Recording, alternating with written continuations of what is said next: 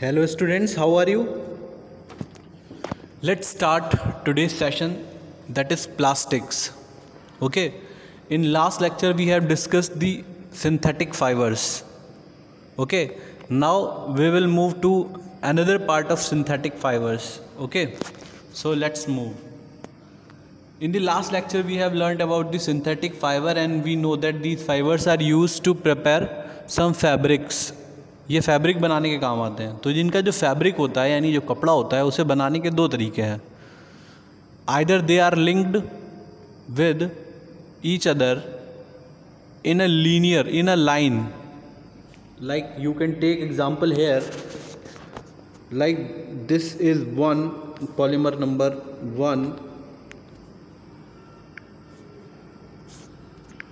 this is polymer one the color should I take that is polymer 1 this is polymer 2 this is polymer number 3 and this is 4 now you have seen here in this example all are connected in a line so this is called linear arrangement इसे हम क्या कहते हैं linear arrangement जब हम monomers को क्या करते हैं या हमने जो पॉलीमर तैयार कर लिया है उस पॉलीमर को हम लाइन में कनेक्ट करते हैं एक दूसरे से तो this arrangement is called linear arrangement और अगर हम इनको कैसे क्रॉस कनेक्ट करें, देखो ये क्रॉस बन रहा है ना, अगर हम इनको क्रॉस कनेक्ट करें तो this arrangement is known as cross linked arrangement इसे क्या कहते हैं? क्रॉस लिंक्ड अरेंजमेंट ये क्रॉस में है, ठीक है? यानी एक लाइन ये है और दूसरी लाइन क्रॉस करके जुड़ी हुई है ना?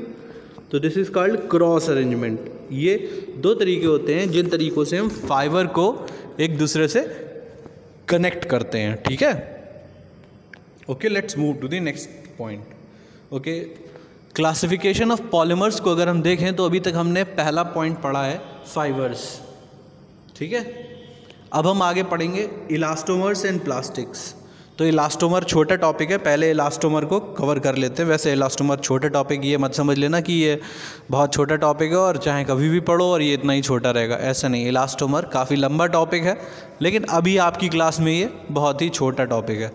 इलास्टोमर मतलब रबर की बात हो रही होती है। इलास्टोमर्स क्या होते हैं? रबर लाइक पॉलीमर होते हैं। जैसे एक रबर होती है जो प्लांट से निकलती है है ना? एक रबर ऐसी होती है जो सिंथेटिकली प्रिपेयर की जाती है है ना? बनाई जाती हैं। तो ऐसे सब्सटेंस जो रबर की तरह फ्लेक्सिबल होते हैं, उन्हें खींचो आप, वो खिंच जाते हैं। तो ऐसे सब्सटेंसेस क्या कहलाते हैं? आपके इलास्टोमर्स कहते हैं। इनका इस्तेमाल अधिकतर ऐसी चीज़ों में किया जाता है जहाँ पर हमें फ्लैक्सिबिलिटी और मजबूती दोनों चीज़ें चाहिए होती हैं। जैसे एग्जांपल के तौर पे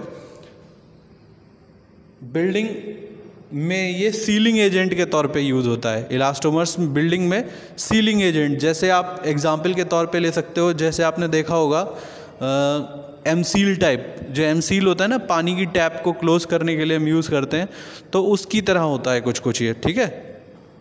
या नाइलोन बनाने में भी इलास्टोमर्स जो होते हैं, उनका यूज़ किया जाता है, क्योंकि नाइलोन का टायर बनता है, ठीक है?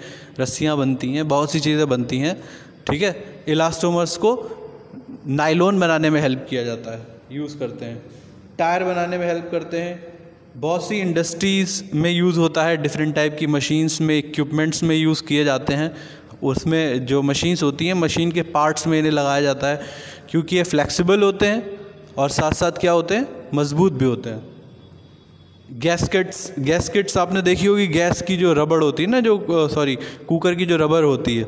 आपने देखी होगी ना? कुकर का जो ढक्कन होता है, उसमें एक रबर लगी होती है। तो वो रबर भी क्या होती हैं? इलास्टोमर्स की बनी हुई होती हैं, ठीक है? इलास्टोमर एक सिंथेटिक फाइबर है, जो कैसा होता है? मज़बूत होता है फ्लेक्सिबल होता है, आसानी से टूटता नहीं। तो सिंथेटिक फाइबर और इलास्टोमर में जो बेसिक डिफरेंस है, वो ये है कि फाइबर जो होता है, ये जो इलास्टोमर होता है, ये रबर की तरह मुड़ जाता है। ठीक है? मतलब आप इसे मोड़ो तो ये वापस अपनी शेप गेन कर लेगा। जैसे रबर को खींचो तो तब तक तो वो खींची रहेगी जब तक आप उस पर फोर्स लगाते हो। जैसे ही आप फोर्स छोड़ोगे, वो क्या होगा? वापस अपनी शेप को गेन कर लेगा। ठीक है? लेकिन सिंथेटिक और जो प्लास्टिक फाइबर्स होते हैं, जैसे पॉलीथीन आपने देखी पॉलीथीन को आप खींचो तो वो खिंच जाती है। लेकिन अगर आप अपना फोर्स हटा लो तो वापस नॉर्मल नहीं होती। वो खिंच जाती है ना? होता है ना ऐसा? तो सिंथेटिक फाइबर्स और इलास्टोमर में क्या अंतर हुआ कि सिंथेटिक फाइबर जो होते हैं, ये डिफॉर्म हो जाएँगे। लेकिन इलास्टोमर्स ये जो होते हैं, ये जनरली डिफॉर्म नहीं होते, बल्कि आप जब अपना फोर्स हटाओगे तो ये वापस अपना शेप गेन कर लेंगे। क्लियर है सबको? जैसे आपने टायर देखा है गाड़ियों का तो गाड़ी में जब कोई हैवी लोड लादा जाता है तो टायर दब जाता है। दब जाता है, और जैसे ही वो लोड हट जाता है तो वापस टायर अपना शेप चेंज कर लेता है मतलब नॉर्मल शेप में आ जाता है।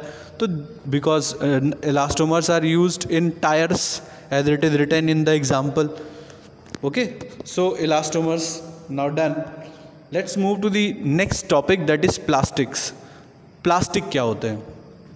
ठीक है?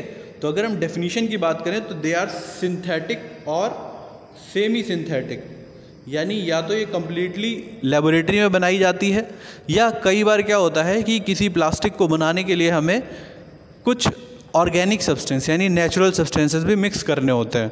तो या तो ये प्योरली सिंथेटिक होती है, और या ये सेमी सिंथेटिक होती सेमी मतलब half synthetic half natural compound that are malleable that are malleable malleable होने का मतलब होता है that can be beaten into sheets on heating किसी भी सब्सटेंस को हीट करके अगर उसकी शीट में कन्वर्ट करा जा सके तो वो क्या कहलाता है सब्सटेंस मेलिएबल कहलाता है। क्या कहलाता है? मेलिएबल अगर आप किसी सब्सटेंस को गर्म करके उसकी शीट बना दो। शीट होती है ना, एक चादर जैसी, जैसे लोहे की चादर होती है। ठीक है शीट बना दो अगर तो वो सब्सटेंस क्या कहलाते हैं? मेलिएबल कहलाते हैं। ठीक है, और अगर आप किसी सब्सटेंस को गर्म करके उसका तार बना सकते हो तो वो डक्टाइल कहलाता है। क्या कहलाता है? डक्टाइल कहलाता है। तो प्लास्टिक डक्टाइल भी होती है और मेलिएबल भी होती है, ठीक है? दोनों ही कैरेक्टर होते हैं। यहाँ प्लास्टिक के तार भी होते हैं, आपने देखे हैं नाइलोन की रस्सियाँ होती हैं। प्लास्टिक की शीट्स भी होती हैं, जैसे कि आपकी टेबल चेयर ये तभी तो बन पाती हैं क्योंकि इनकी शीट भी बन जाती है, ठीक है? तो ये दो प्रॉपर्टी होती हैं प्लास्टिक्स के अंदर। जो प्लास्टिक वर्ड है, ये एक ग्रीक वर्ड प्लास्टिकोस से लिया गया है। किससे लिया गया है?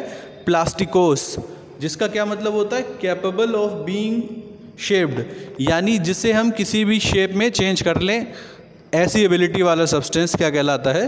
प्लास्टिकोस कहलाता है। ठीक है? क्या कहलाता है? प्लास्टिकोस आप किसी भी शेप में चाहो उसे चेंज कर लो तो वो क्या है? प्लास्टिक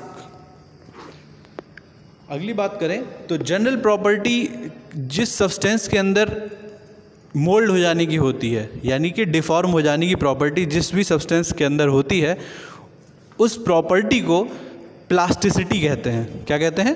प्लास्टिसिटी, यानी कोई सब्सटेंस अगर फोर्स लगाने पर मुड़ जाता है बेंड हो जाता है, या डिफरेंट शेप में चेंज हो जाता है तो ये उसका क्या कहलाता है? प्लास्टिसिटी कहलाती है। बिना टूटे, लेकिन सबसे ख़ास बात क्या है? टूट के तो सब कुछ मुड़ जाता है। बिना टूटे मुड़ना क्या कहलाता है? प्लास्टिसिटी कहलाती है। ठीक है? क्लियर है ये? प्लास्टिसिटी की डेफिनेशन हो गई। प्लास्टिक्स की अगर हम बात करें तो प्लास्टिक्स को मेनली दो कैटेगरी में डिवाइड किया गया है थर्मोप्लास्टिक एंड थर्मोसेटिंग प्लास्टिक ठीक है? थर्मोप्लास्टिक और थर्मोसेटिंग प्लास्टिक दोनों में ही हमें क्या चीज़ याद रखनी है? कि जब भी कोई प्लास्टिक बनाया जाता है, उसे गर्म करके एक शेप दिया जाता है मतलब उसका एक केमिकल तैयार किया जाता है, उस केमिकल को गर्म करके एक शेप दे दिया जाता है और फिर उसे ठंडा कर दिया जाता है, ठीक है? मतलब हार्डन कर दिया जाता है।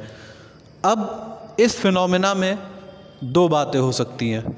या तो कोई प्लास्टिक बार बार आपने एक बार बनाया, उससे आपने कोई केमिकल मिला के एक प्लास्टिक बनाया, अब वो ख़राब हो गया तो दोबारा से उस प्लास्टिक को गर्म किया, फिर एक नया सब्सटेंस बना दिया। फिर ख़राब हो गया, आपने फिर से उसे गर्म किया, नया शेप दे दिया। तो जब कोई प्लास्टिक बार बार सॉफ्ट करके, फिर उसे हार्ड करके बार बार आप उसे रिसाइकल कर सको, आप उससे बार बार नया शेप बना सको तो ऐसी प्लास्टिक को थर्मोप्लास्टिक कहते हैं। क्या कहते हैं? Thermoplastic means the plastic which can be moulded again and again on heating and hardening ठीक है? तो डेफिनीशन अगर हम रिटर्न देख लें तो क्या है? Plastic can be softened by heating and harden by cooling any number of time without changing the property of material ठीक है? Without changing the property of material यहाँ पर क्या होता है? जब भी प्लास्टिक एक से दूसरी प्लास्टिक में कन्वर्ट होती है तो थोड़ा सा उसकी क्वालिटी में अंतर आ जाता है। आप कभी प्लास्टिक का सामान खरीदने प्लास्टिक जहाँ बिकती है, वहाँ जाओ तो आप उससे पूछोगे तो वो आपको फ़र्स्ट प्लास्टिक सेकंड प्लास्टिक या थर्ड प्लास्टिक के बारे में बताएँगे। मतलब कि फ़र्स्ट प्लास्टिक का क्या हुआ? जो पहली बार केमिकल मिला के बनी। दूसरी बार जो सेकेंड प्लास्टिक होगी, वो क्या होगी? जो आपके घर पे कभी कबाड़ या रद्दी खरीदने वाले जो आते हैं, वो प्लास्टिक लोहा, कांच, ये खरीद लेते हैं, है ना? क्योंकि ये सारी की सारी गर्म करके मोल्ड की जा सकती हैं, ठीक है? आप लोहे को भी गर्म करके मोल्ड कर सकते हो। आप कांच को भी गर्म करके डिफरेंट शेप्स में बदल के वापस बोतल बना ली जाती है। पेपर आपको पता है कि उसको दोबारा रिसाइकिल किया जा सकता है, ठीक है? तो चूँकि इन सारी सब्सटेंसेस के अंदर एक्सेप्ट पेपर पेपर की बात मैं नहीं कर रहा, मैं बात कर रहा हूँ ग्लास आयरन एंड प्लास्टिक इन सब के अंदर क्या होता है? बार बार रीशेप हो जाने की एबिलिटी है गर्म होकर। तो इसीलिए ये हम बार बार इन्हें क्या करते हैं? रिसाइकिल कर सकते हैं। इन्हें बेच के अर्निंग भी हो जाती है, हो जाती है ना? और हमारे घर से कूड़ा भी रिमूव हो जाता है। और साथ साथ क्या होता है? एक नया प्लास्टिक हमें मिल जाएगा दोबारा, ठीक है? तो ये प्लास्टिक क्या होती है जब दूसरी प्लास्टिक आएगी तो इसकी क्वालिटी थोड़ी सी पुअर होगी। फिर दोबारा आप रिसाइकिल करोगे उसी प्लास्टिक को तो वो थोड़ी और पुअर हो जाएगी। लेकिन फिर भी वो प्लास्टिक रहती तो प्लास्टिक ही है ना, ठीक है? यानी उसके अंदर प्लास्टिसिटी तो बनी ही रहती है। इसीलिए यहाँ लिखा गया है without changing the property of material अगली प्रॉपर्टी की बात करते हैं। It is thus possible to shape and reshape these plastics by means of heat and pressure मतलब यहाँ पे प्लास्टिक को शेप और रीशेप कर सकते हो। अब जैसे ये ज़रूरी नहीं कि आपने पहले प्लास्टिक से, जो प्लास्टिक से चेयर बनाई, फिर दोबारा भी आप उससे चेयर ही बनाओ, ऐसा नहीं है। आप उसे नई नई शेप्स में भी चेंज कर सकते हो, ठीक है? शेप एंड रीशेप कर सकते हैं अलग अलग सब्सटेंसेज में।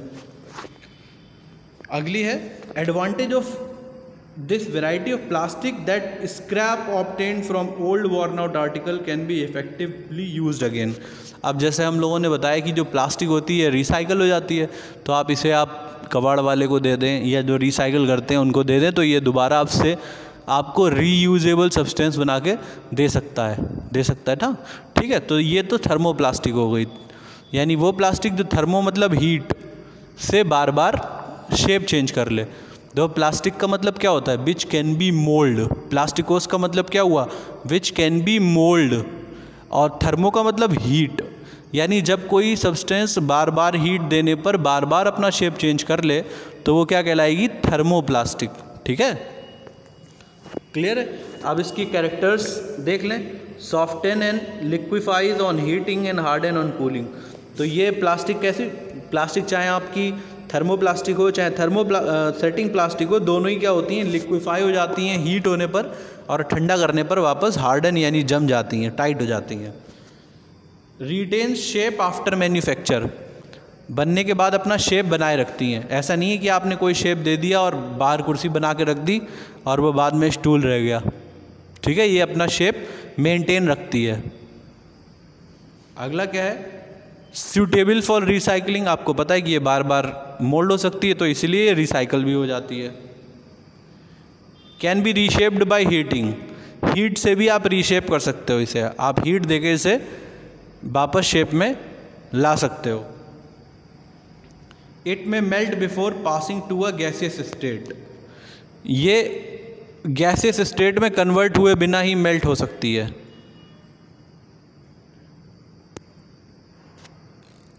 अगर आप इसे हीट करोगे तो ये डिफॉर्म हो जाएगी, यानी इसका शेप बदल जाएगा। ठीक है? आपको यानी अगर कोई बदल बदल के शेप चाहिए, तभी तो आप दे पाओगे, क्योंकि आप क्या कर सकते हो उसको? डिफॉर्म कर सकते हो बार बार सॉल्यूबल प्लास्टिक जो होती हैं, वो एक्चुअली है तो केमिकली है ना? तो ये कुछ लिक्विड्स के अंदर क्या होती है? डिजॉल्वेबल होती है। ये मिक्स हो जाती है। ठीक है? Swell in presence of certain solvent कुछ केमिकल्स की प्रेजेंस में ये स्वेल मतलब फूल जाती है। प्लास्टिक आपने देखा होगा ना, अगर छत पे आप छोड़ दो काफ़ी समय के लिए तो कुछ समय प्लास्टिक की पपड़ी जैसी जो लेयर्स होती हैं, वो फूल के ऊपर आने लगती हैं। और वही और समय तक छोड़ दो तो धीरे धीरे एक लेयर करके लेयर करके उतरती चली जाती हैं। ठीक है तो वो स्वेलिंग हो जाती केमिकल की वजह से। क्लियर है सबको? आगे बढ़ते हैं। अब थर्मोप्लास्टिक्स जो हम मार्केट में यूज़ करते हैं, वो कौन कौन सी हैं जो हम डेली लाइफ में यूज़ करते हैं?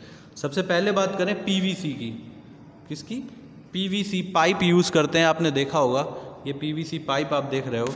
इसका इस्तेमाल प्लम्बिंग पाइप के तौर पे किया जाता है, या जो हमारी टॉयलेट्स और वॉशरूम होती है, इन, इन्हें हम सैनिटरी प्लेसेस कहते हैं। तो इनका जो, इनकी जो फिटिंग होती है, उसमें भी ये पाइप यूज़ होता है। ठीक है? शावर्स शावर कर्टेंस लगाने में, या जो कर्टेंस बनाए जाते हैं ना, पर्दे डाले जाते हैं। पर्दे डालने के लिए भी जो पाइप्स बनाए जाते हैं, वो पीवीसी के बनाए जाते हैं। विंडो फ्रेम भी पीवीसी के बनते हैं आजकल। बहुत सी चीज़ों में जो हमारा पीवीसी है, वो यूज़ होता है लार्जली अगर हम अगली बात करें एक्रिलिक एक्रिलिक तो जो कैनोपी होती है, जो आपने छतों पर देखी होगी, या गेट्स पर हम प्लास्टिक लगवाते हैं कलरफुल प्लास्टिक लगती है, वो किसकी बनी होती? है एक्रेलिक की बनी होती है। ये ग्लास की तरह ट्रांसपेरेंट भी हो सकती है मतलब इसके आर पार भी दिख सकता है और ये कलरफुल भी हो सकती है बहुत सारे टेक्सचर में, जैसे आप यहाँ पे देख पा रहे हो, ठीक है? और ये जो कैनोपी होती है, अगर इसे आप टैप करो तो इससे आवाज़ आती है बहुत अच्छी सी, ठीक है? अगर किसी के यहाँ कैनोपी हो तो कैन यू प्लीज़ ट्राई अगला है पॉलीथीन। अब पॉलीथीन दो टाइप की होती है, एक होती हाई डेंसिटी पॉलीथीन, एक होती लो डेंसिटी पॉलीथीन। तो जो लो डेंसिटी पॉलीथीन होती है, ये कैसी होती है? पैराफीन वैक्स मोम जो होता है पैराफीन मोम, उसकी तरह बिल्कुल महीन महीन सी लगती है, मखमली होती है पॉलीथीन ठीक है? फ्लेक्सिबल होती है। इसका इस्तेमाल बॉटल बनाने में बकेट्स बनाने में, ठीक है? वाटर टैंक की शीट्स बनाने में करते हैं, ठीक है? अगली होती है जो हाई डेंसिटी पॉलीथीन होती है। हाई डेंसिटी पॉलीथीन का यूज़ कहाँ करते हैं? लार्ज स्टोरेज बॉटल्स बनाने में, जो ज़्यादा स्टोर कर सके ऐसी बॉटल बनाने में या वाटर टैंक्स बनाने में किया जाता है। ठीक है? ये वाटर टैंक बनाने में आप दोनों टाइप की पॉलीथीन का यूज़ कर सकते हो हाई डेंसिटी भी और लो डेंसिटी भी पॉलीथीन दोनों यूज़ हो जाती हैं। दूसरी होती है पॉलीप्रोपिलीन पॉलीप्रोपिलीन इनका इस्तेमाल किसमें किया, ये पॉलीप्रोपिलीन जो होती है वाटर में फ्लोट करती है। लाइट होती है, हल्की प्लास्टिक होती है। यानी ये भी कह सकते हो कि सबसे हल्की प्लास्टिक होती है, पॉलीप्रोपिलीन। इसका इस्तेमाल सिस्टन सिस्टन जो होता है, सिस्टन, जो टॉयलेट में लगा होता है, जिसका जो नॉब हम पुश करते हैं तो वाटर जो होता है, वो निकलता है फ्लश में और वो सारी गंदगी रिमूव कर देता है। तो आपने देखा होगा, वो प्लास्टिक पानी के ऊपर रुकी रहती है रुकी रुकी रहती है ना, फ्लोट करती है। तो सिस्टन में यूज़ होता है, वॉशिंग मशीन की जो बिड्स होती हैं, उनमें भी यही यूज़ होता है, ठीक है? या जो फ़ूड कंटेनर्स होते हैं, उनमें भी यही प्लास्टिक यूज़ की जाती है लाइट वेट भी होती है। अगली होती पॉलीस्टरीन क्या होती? है पॉलीस्टीरीन पॉलीस्टीरीन क्या होती है? ये ग्लासी होती है ग्लास की तरह होती है। किसकी तरह होती है? ग्लास की तरह होती है। लेकिन अगर आप इसे गर्म कर दो, ठीक है तो ये क्या होती? है लिक्विड की तरह पिघल जाती है। कैसी हो जाती है? लिक्विड की तरह पिघलने लगती है, या थर्माकोल आप कह सकते हो, थर्माकोल जैसी होती है कुछ कुछ। पॉलिस्टरीन किसकी तरह होती है? थर्माकोल की तरह होती है। और नाइलोन आपने पढ़ा हुआ है, ठीक है? और it's my suggestion and humble request to you, जो मैंने बताया है this is not the end of the topic you can find out on the net this is the era of internet, as you know. We are studying on online platforms so you can have lot of information on google or any other um, platform like youtube. तो आप जो topic मैं बताता हूँ उससे और आगे जानने की कोशिश कीजिए ताकि आपका वो टॉपिक और अच्छा हो जाए। शायद मुझसे भी अच्छा एक्सप्लेनेशन आपको किसी यूट्यूब वीडियो में मिल जाए। तो please go through for go through that those videos that increases your understanding ठीक है तो नाइलॉन और पॉलिस्टरीन के बारे में आप फाइंड कीजिएगा और आपको कुछ ज़्यादा मालूम चले तो प्लीज़ इन्फॉर्म मी ऑल्सो अब थर्मोसेटिंग प्लास्टिक का मतलब। अब थर्मो मतलब हीट सेट मतलब एक शेप बना लेना। सेट हो जाने का मतलब क्या होता है? जैसे मसाला जब हम लोग घर पे बनाते हैं ना, दीवार में मसाला लगाया जाता है सीमेंट वाला तो वो मसाला सेट होने का क्या मतलब होता है? अब वो जो शेप ले लिया, अब वो शेप ले लिया। अब आप उसे दोबारा किसी दूसरे शेप में कन्वर्ट नहीं कर सकते। ठीक है?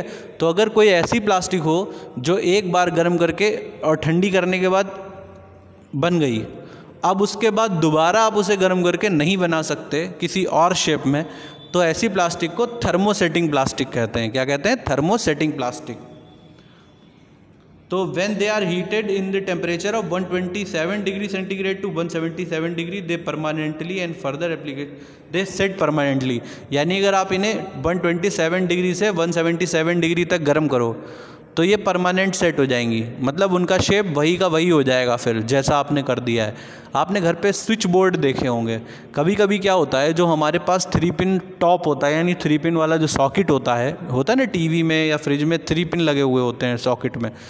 कभी वो लूज़ हो जाए तो स्पार्किंग की वजह से जो सॉकेट होता है, जिसमें हम उसे लगाते हैं थ्री पिन को, वो पिघलने लगता है। और वो पिघल के क्या होता है? डिस्टॉर्ट हो जाता है, उसका शेप ख़राब हो जाता है। तो आपने देखा होगा कि वो शेप फिर वैसा का वैसा ही रहता है, दोबारा वापस नॉर्मल नहीं होता ना। क्यों? क्योंकि उसका टेम्परेचर बहुत ज़्यादा बढ़ने पर वो शेप उसने गेन कर लिया। अब अब इससे ज़्यादा शेप आप दो, आप टेम्परेचर दोगे तो कोई फ़ायदा नहीं अब ये शेप बन गया वापस, ठीक है? अगली बात करें कि अगर आप इस प्लास्टिक को और गर्म कर दो, क्या कर दो? और गर्म कर दो, ये चार हो जाती चार हो जाने का मतलब होता है कोयले में कन्वर्ट हो। जाए कोयले जैसा काला काला स्पॉट बना देती है। जब ऐसे सब्सटेंसेस को हम बहुत गर्म करते हैं तो ये चार हो जाती है। या कभी कभी क्या होता है, आपने कभी जो कुकर का या कभी जो फ्रैपन का हैंडल होता है, ये जल जाते हैं तो आपने देखा होगा इनके ऊपर कोयले जैसे छोटे छोटे से पार्टिकल इकट्ठा हो जाते हैं। तो उन्हें हम कहते हैं चार। चार हो गई, वो क्या हो गया? चार हो गया। ठीक है? चार होने का मतलब converting into coal like substance this is charring ठीक है? अगला क्या है? ये कई कलर्स में भी अवेलेबल होती है और अधिकतर इसका इस्तेमाल इंजीनियरिंग में ज़्यादा किया जाता है। ठीक है? अब थर्मोसेटिंग प्लास्टिक के एग्ज़ाम्पल आपका बैकेलाइट होता है मेलामाइन होता है सेरेमिक होता है। इनका इस्तेमाल किया जाता है। आप ये प्रॉपर्टीज़ यहाँ पर देख सकते हैं अलग अलग सब्सटेंसेस बनाए जा रहे हैं बैकेलाइट से, जैसे आपके कुकर का हैंडल हो गया, या हमारे जो पहले टाइम पर फ्यूज़ यूज़ हुआ करते थे मेन सर्किट में, वो फ्यूज़ जो होते थे बड़े बड़े से फ्यूज़ बैकेलाइट के बने हुआ करते थे, जो आजकल हम लोग जो क्रॉकरी ला रहे हैं, वो सेरेमिक वाली होती है सेरेमिक की क्रॉकरी होती है मेलामाइन का यूज़ किया जाता है, बहुत सारी वॉल टाइल्स में भी जो टाइल लगाए जाते हैं, उनमें भी हम प्लास्टिक मिला लेते हैं। तो बहुत सारी चीज़ें ऐसी हैं जिनका इस्तेमाल किया जाता है थर्मोसेटिंग प्लास्टिक के साथ, ठीक है? आगे बढ़ते हैं। प्रॉपर्टीज़ ऑफ़ प्लास्टिक प्लास्टिक की प्रॉपर्टीज़ की बात करें तो they are light in weight ये वेट में कैसी होती है? हल्की होती है। They have good resistance of the chemical इसके ऊपर केमिकल्स का असर ज़्यादा नहीं होता। मतलब कि आप धूप में रख दो, हवा में रख दो, ये जल्दी जल्दी ख़राब नहीं होती। They have high electrical strength इनमें हाई इलेक्ट्रिकल स्ट्रेंथ होती है। आपने देखा हो ना, जितनी भी वायरिंग होती है या स्विच बोर्ड होते हैं, ये सब प्लास्टिक के तो बने होते हैं। ये हमें करंट नहीं लगने देते। Plastic can be moulded to any desired shape and size इसको किसी भी शेप और साइज़ में कन्वर्ट कर सकते हो। कैन बी मेड ट्रांसपेरेंट और कलर आप इसे ट्रांसपेरेंट भी बना सकते हो कलर्ड भी बना सकते हो। ये मेटल के कंपैरिजन में चीप है। मैंने आपको बताया था कि मेटल जो होता है, वो भी मेलिएबल और डक्टाइल होता है। उसकी भी शीट बन सकती है, उसका भी वायर बन सकता है। लेकिन क्या होता है मेटल में कमी है कि उसमें जंग लग जाती है, वो पानी के साथ रिएक्शन में ख़राब हो जाता है, भारी होता है, और अगर कहीं किसी के लग जाए तो फिर उसे टिटनेस हो सकती है। तो बहुत सी चीज़ों से हमें प्लास्टिक बचा लेती है। अगर हम स्टील की जगह सॉरी अगर हम मेटेलिक सब्सटेंस की जगह प्लास्टिक का सब्सटेंस यूज़ कर रहे हों।